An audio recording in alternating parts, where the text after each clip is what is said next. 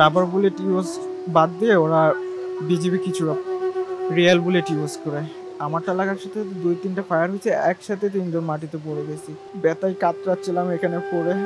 ওরা deal machine দিয়ে আমার হাতটা ছিদ্র করে একটা রড ঢোকানোর জন্য। ওনাদেরকে জাস্ট রিকোয়েস্ট করে বলতেছিলাম, স্যার, দয়া করে এই কাজটা করেন না, আমাকে অবশ করে নেন।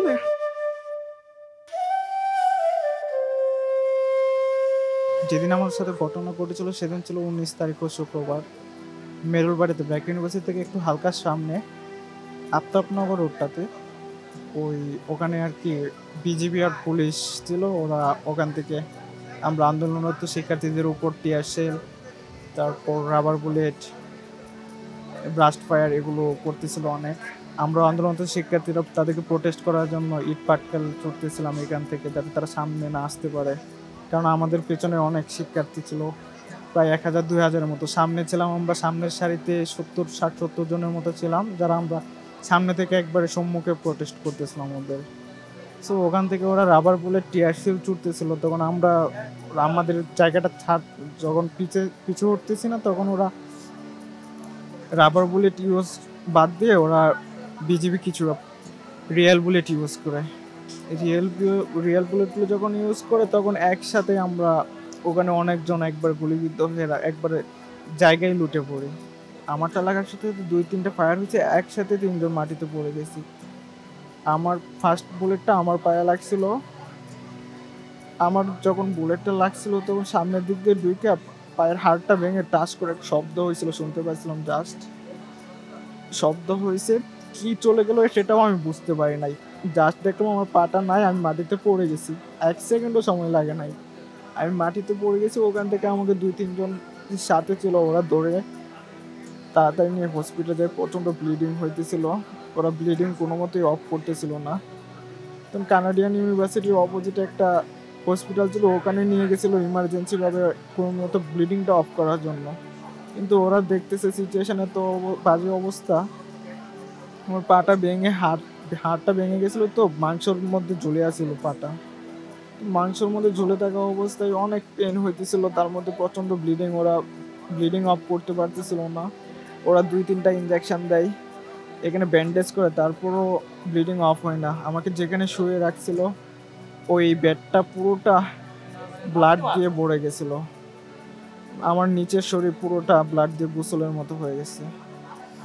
ওখান থেকে ওরা সিচুয়েশন দেখে আমাকে রাখে নাই। ওরা তাড়াতাড়ি বলে পঙ্গু হসপিটালে নিয়ে যাওয়ার জন্য। তখন আশেপাশে কোনো গাড়িও পাচ্ছিল না, কারণ চারদিকে এমন বাজে অবস্থা।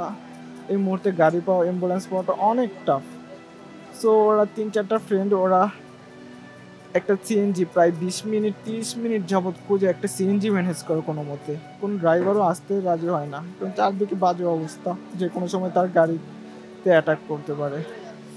তো একটা সিএনজি নিয়ে আসে, ওই সিএনজি করে এই পঙ্গু হসপিটালে আসে, প্রায় দুই ঘণ্টা, তিন ঘণ্টা লাগে। রাস্তায় রাস্তায় পুলিশ ওরা অনেক সমস্যা করতেছিল। মানে যেদিকে যে দিক দিয়ে ফায়ার আসতেছিল, গলিতে গলিতে ঘুরতে ঘুরতে দুই, তিন ঘণ্টা ঘুরে প্রচণ্ড ব্লিডিং যারা আমাকে নিয়ে বসে আছিল গাড়িতে, ওদের সবার জামা কাপড় রক্তে ভিজে গেছিল। এই পঙ্গু হসপিটালে আসতে শুক্রবার পাঁচটা বেজে গেছে, আমার গুলিটা লাগছিল দুইটা, আড়াইটার দিকে। তিন ঘণ্টা, চার ঘণ্টার মতো প্রায় ব্লিডিং হয়েছে। এখানে এসে দেখলাম এত পরিমাণ গুলি ঢুকে যে আমার বুলেটটা আছে কিনা ভিতরে দেখবে চেক করবে, আমার অপারেশনটা করবে, সেটার মতন নয়, নাই, অনেক সিরিয়াল ব্যথায় কাতরাচ্ছিলাম এখানে পড়ে। প্রায় এক ঘণ্টা ওয়েট করার পর আমার সিরিয়াল আছে, ওরা আমার অপারেশন রুমে নিয়ে যায়। অপারেশন রুমে নিয়ে যাওয়ার পর দেখে অবস্থা, গুলিটা সামনের দিক দিয়ে ঢুকছিল, হাড়টা ভেঙে পিছন দিয়ে মাংস নিয়ে চলে গেছিল একবারে। ওরা এটা ব্লিডিং বন্ধ করার জন্য সুন্দর করে ইঞ্জেকশন দিয়ে এটা সুন্দর করে ব্যান্ডেজ করে।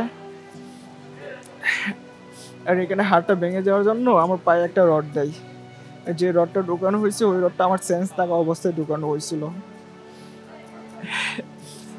সাধারণত যে বিল্ডিং বিল্ডিংগুলো যে ছিদ্র করে ডিল মেশিন বলে যেটাকে, ওই ডিল মেশিন দিয়েই আমাদের হাড়গুলো ছিদ্র করা হয়। ওটিতে এবং পাটা হাড়টা ভেঙে আলাদা হয়ে গেছিল, এই জন্য ওরা পাটা আলাদা যেন থাকে, হাড়টার সাথে একসাথে না হয়ে যায়, টানা থাকে, ওই জন্য ওরা ডিল মেশিন দিয়ে আমার হাড়টা ছিদ্র করে একটা রড ঢোকানোর জন্য।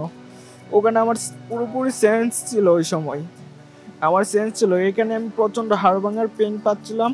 তার মধ্যে ওরা আমার সেন্স থাকা অবস্থায় এই হাড়ের মধ্যে দিয়ে, এই ড্রিল মেশিন দিয়ে এই রডটা আমার হাড় দিয়ে ঢুকিয়ে দেয়। এত পরিমাণ পেন হচ্ছিল, এত পরিমাণ চিৎকার পাচ্ছিলাম ওখানে। ওনাদেরকে জাস্ট রিকোয়েস্ট করে বলতেছিলাম, স্যার, দয়া করে এই কাজটা করেন না, আমাকে অবশ করে নেন। আমাকে না হয় অজ্ঞান করেন না আমি সহ্য করতে পারতেছি না। ওরা আমাকে দু তিনজন চাই চাইপা দইরা আমার হাড়ের ভিতর দিয়ে, এই ড্রিল মেশিন দিয়ে এই রডটা ভিতরে ঢুকিয়ে দিছিল। গত উনিশ তারিখ থেকে এখন পর্যন্ত আমি এই হসপিটালে আছি। এখন আমার মেজর অপারেশনটাই হয় নাই। পিছন দিয়ে যে মাংসটা চলে গেছিল, এটা গত আঠাশ দিন আজকে। আঠাশ দিনে মাংসটা এখন বরাট হয়ে আসছে। মাংসটাও যখন পুরোপুরি বরাট হয়ে শুকনো হয়ে যাবে, তারপর এটা আমার ভিতরে যে হাড় আট টুকরো হয়ে গেছে, সেটার অপারেশনটা করবে। ডাক্তার আজকে বলে গেল নেক্সট উইকের টুয়েসডেতে আমার অপারেশনটা হতে পারে ব্লাড ম্যানেজ করে রাখার জন্য। নাই আমরা যে বৈষম্যের জন্য আন্দোলন করেছিলাম যে বৈষম্য, সেই বৈষম্য, যে স্বাধীনতার জন্য আন্দোলন- করেছি আমরা সেই স্বাধীনতা মনে হয় না এখন আমাদের মধ্যে আছে। আমরা এখন একটা নাশকতার মধ্যে পড়ে গেছি। এটা কি কারও ষড়যন্ত্র শিকারের মধ্যে পড়লাম? না, এখানে বাইরে থেকে কোনো চক্রান্ত হচ্ছে, সেটাও আমরা এখন বুঝতে পারতেছি না। হসপিটালে বেডে পড়ে অনলাইনে যতটুকু দেখতেছি, যতটুকু বুঝতেছি, সেটা থেকে উপলব্ধি করতে পারতেছি। এখানে অনেক বড় একটা চক্র আছে, যারা আমাদেরকে অন্যদিকে নিয়ে যাওয়ার চেষ্টা করছে।